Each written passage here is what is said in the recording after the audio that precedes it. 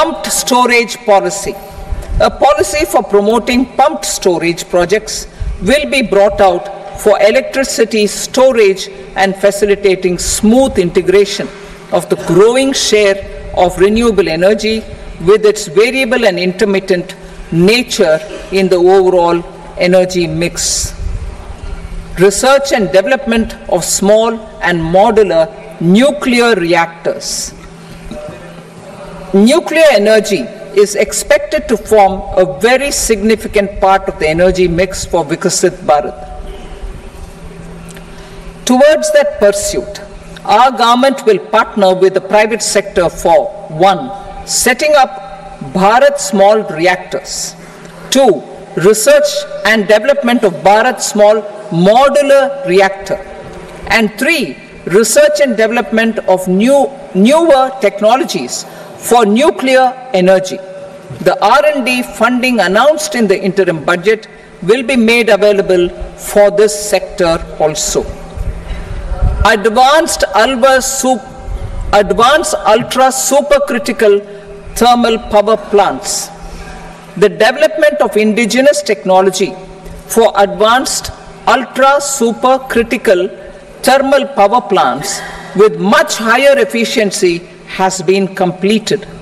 A joint venture between NTPC and BHEL will set up a full scale 800 megawatt commercial plant using AUSC technology. The government will provide the required fiscal support.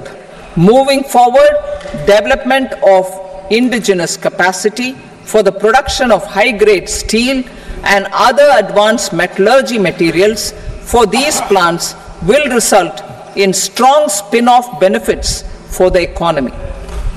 Roadmap for hard to abate industries.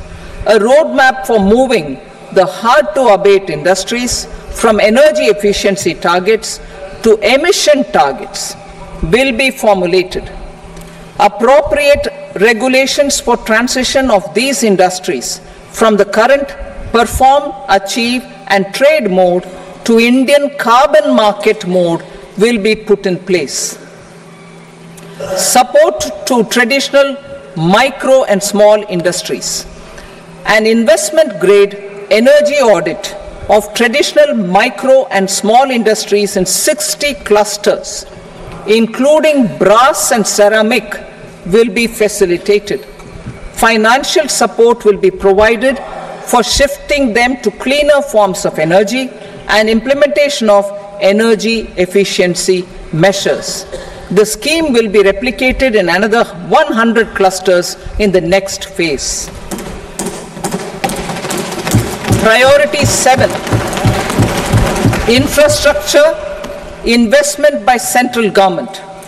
Significant investment the central government has made over the years in building and improving infrastructure has had a strong multiplier effect on the economy. We will endeavor to maintain strong fiscal support for infrastructure over the next five years in conjunction with imperatives of other fiscal consolidation. This year, I have provided 11 lakh 11,111 crore rupees for capital expenditure. This would be 3.4% of our GDP. Infrastructure investment by state governments. We will encourage states to provide support of similar scale for infrastructure subject to their development priorities. A provision of 1.5 lakh crore rupees for long term interest free loans have been made this year also to support the states private investment in infrastructure. Investment in infrastructure by private sector funding and enabling policies and regulations. A market based financing framework will be brought out pradhan mantri gram sadak yojana phase 4 of the pmgsy will be launched to provide all weather connectivity to 25,000 rural habitations which have become eligible in view of their population increase. Irrigation and flood mitigation. Bihar has frequently suffered from floods, many of them originating outside the country. Plans to build flood control structures in Nepal are yet to progress. Our government, through the Accelerated Irrigation Benefit Program and other sources, will provide financial support for projects with estimated cost of 11,500 crore rupees, such as the Kosi Mechi intra-state link and 20 other ongoing and new schemes, including barrages, river pollution abatement, and irrigation projects. In addition, survey and investigation of Kosi related flood mitigation and irrigation projects will be undertaken. Assam. Assam grapples with floods every year by the Brahmaputra River and its tributaries originating outside India. We will provide assistance to Assam for flood management and, and related projects.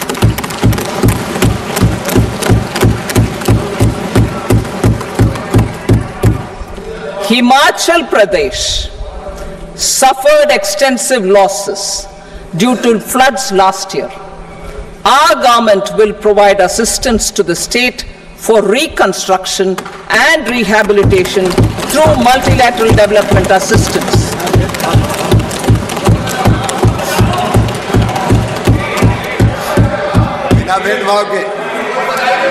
Uttarakhand. Uttarakhand too suffered losses due to cloudbursts and massive landslides. We will provide assistance to the state. Recently, Sikkim witnessed devastating flash floods and landslides that wreaked havoc across the state. Our government will provide assistance to the state. Tourism. Tourism has always been tourism has always been a part of our civilization. Our efforts in positioning India as a global tourist destination will also create jobs, stimulate investments, and unlock economic opportunities for other sectors.